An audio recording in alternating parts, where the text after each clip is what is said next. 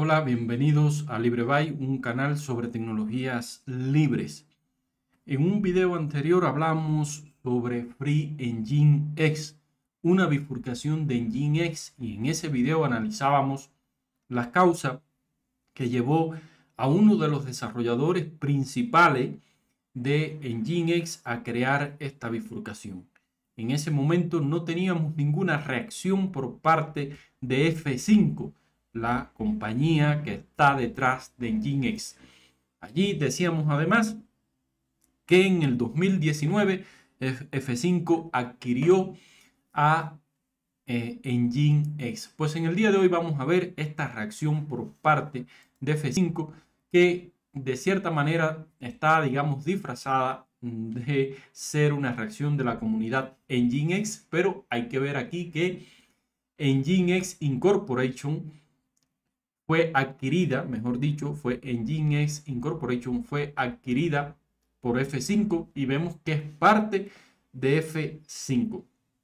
Y este señor, este, este anuncio lo hace este señor que está aquí, que es eh, director general de Nginx Incorporation.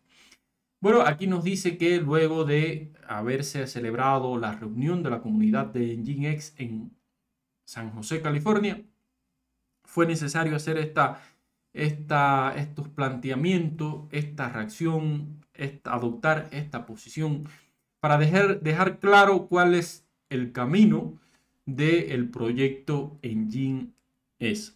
Aquí la parte importante es esta que dice que el objetivo es seguir siendo un proyecto estándar de código abierto similar a OpenSSL y a Linux.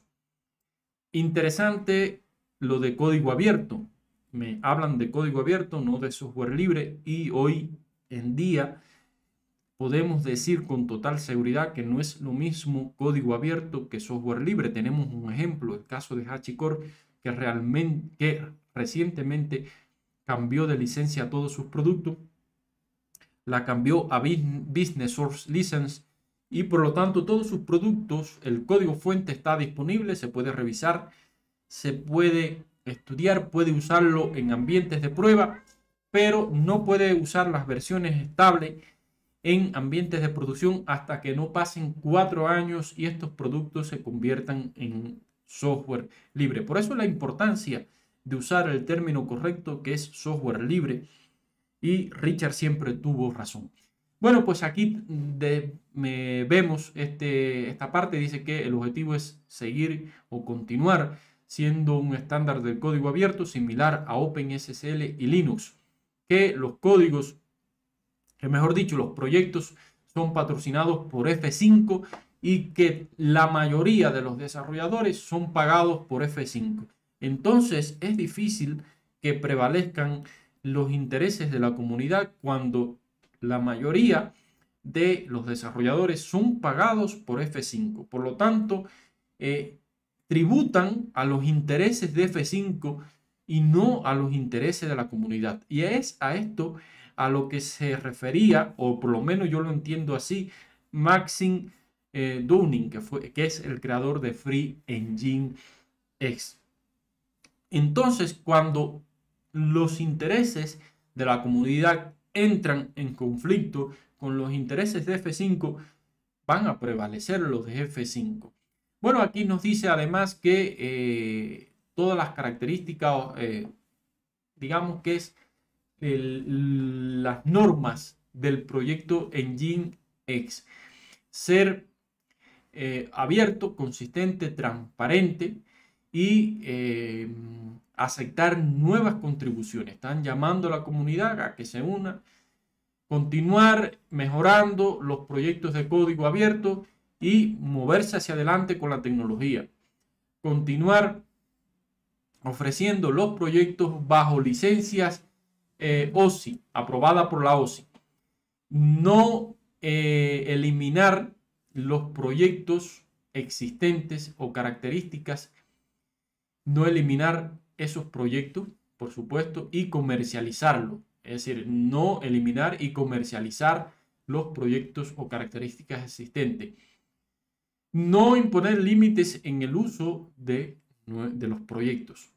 Y entonces, bueno, esto está muy bien, me parece excelente. Vamos a ver cuál es la reacción de las distros como Debian, Rocky y Alma Linux con respecto a la creación de la bifurcación Free Engine X y con respecto a la posición que adopta eh, el proyecto, o mejor dicho, F5 con respecto a su proyecto y producto estrella, el servidor web Engine X. Por lo pronto, podemos estar seguros de que este proyecto va a seguir existiendo, va a seguir existiendo como software libre. Vamos a poderlo usar en nuestros eh, ambientes de producción.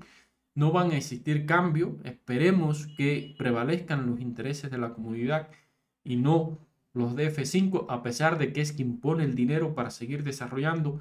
Pero también hacen un llamado a la comunidad de que se unan y esto es, lo hacen a propósito porque ya es el proyecto Free Engine X puede ser que adquiera nuevos desarrolladores y ya le estaría quitando desarrolladores de cierta manera, vamos a decir de cierta manera, a, a Engine X porque me imagino que lo nuevo que salga eh, con, con Free Engine X se incorporen también en el servidor web Engine X.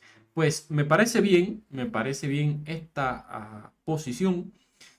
Y bueno, pues esto es todo. Nos vemos en un próximo video para seguir hablando sobre tecnologías libres.